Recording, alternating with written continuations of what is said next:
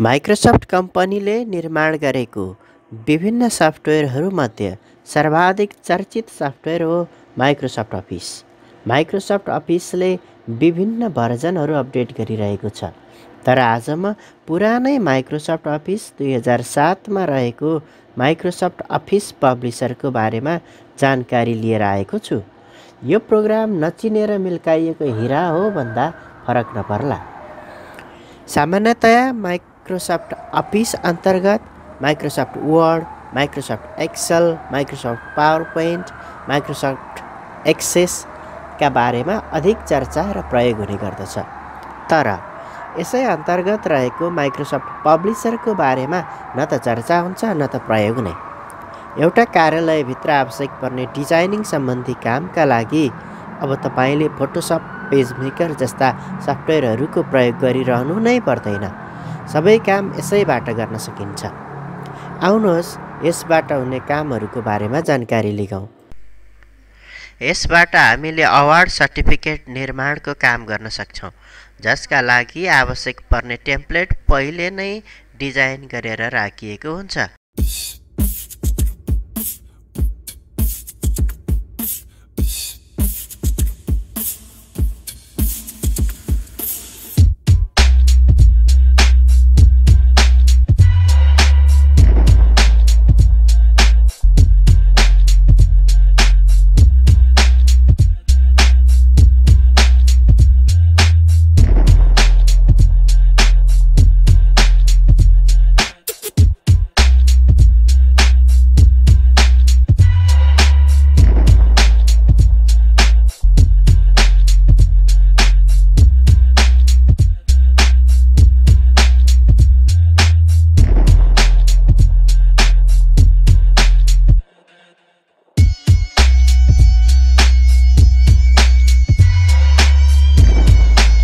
Advertisement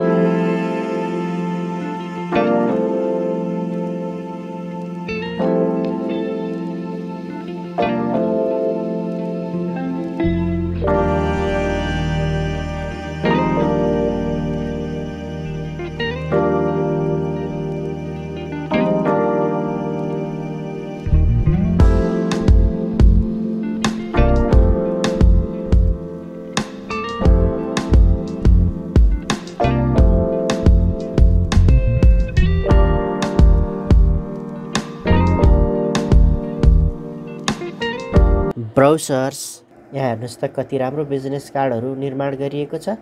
अब यो visiting card निर्माणका लागि हामी प्रेसमा धाइरहनु नै पर्दैन। इन्भेलप्स अर्थात् खाम निर्माण अथवा खामको डिजाइन गर्नका लागि पनि हामीले यसैबाट गर्न सक्छौँ। यो माइक्रोसफ्ट वर्डबाट पनि गर्न सकिन्छ। तर माइक्रोसफ्ट वर्डमा हामीले आफैले डिजाइन गर्नुपर्ने हुन्छ भने यहाँ पहिले नै डिजाइन गरेर राखिएको छ। यस्तै फ्लायर्सहरू निर्माण गर्न पनि हामीले माइक्रोसफ्ट अफिस पब्लिसरबाट गर्न सक्छौँ। क्यालेन्डर निर्माणका लागि पनि यसले सुविधा दिएको छ। यहाँ भएका टेम्प्लेटबाट हामीले आफ्नो इच्छा अनुसारको आफूले रोजे अनुसारको टेम्प्लेट निर्माण गर्न सक्छौँ। गिफ्ट सर्टिफिकेट निर्माण गर्नु पर्यो हामी यसैको प्रयोग गर्न सक्छौँ। ग्रिटिङ कार्ड्स कसैलाई ग्रिटिङ कार्ड्स बनाएर दिनु पऱ्यो भने पनि हामीले यसैको प्रयोगबाट गर्न सक्छौँ। यसका लागि पनि विभिन्न प्रकारका टेम्प्लेटहरू यसैमा डिजाइन गरेर दिइएको छ। जस्तो बर्थडेका लागि विभिन्न प्रकारका टेम्प्लेटहरू छन्। अन्य इङ्गेजमेन्टका लागि विभिन्न प्रकारका टेम्प्लेटहरू छन्। यसका साथसाथै लेटर हेड निर्माण गर्नका लागि पनि यसले निकै सजिलो बनाइदिएको छ। यहाँ पहिले नै डिजाइन गरिएका लेटर हेडमा हामीले आफ्ना कम्पनी संस्थाको नाम राखेर सजिलै र छिट्टै लेटर हेड बनाउन सक्छौँ। यसबाट हुने अर्को काम भनेको न्युज लेटर पनि हो।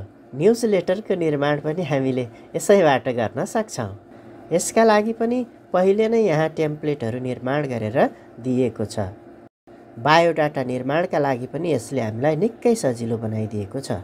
र अर्को अत्यन्तै महत्त्वपूर्ण र हस्तकला सम्बन्धी कामका लागि सघाउन पनि यसले निकै काम गर्ने गर्दछ। पेपर फोल्डिङ प्रोजेक्ट्सका लागि पनि यसले सुविधा दिएको छ। हामीले पेपर फोल्डिङ प्रोजेक्टको लागि यसको प्रयोग गरेर सजिलै आफ्नो काम गर्न सक्छौँ। यस्तै विभिन्न साइनहरू निर्माणका लागि पनि यसले पहिले नै टेम्प्लेट डिजाइन गरेर दिएको छ। अब साइन निर्माणका लागि पनि हामीले अन्त कतै धाइरहनु नपर्ने भयो।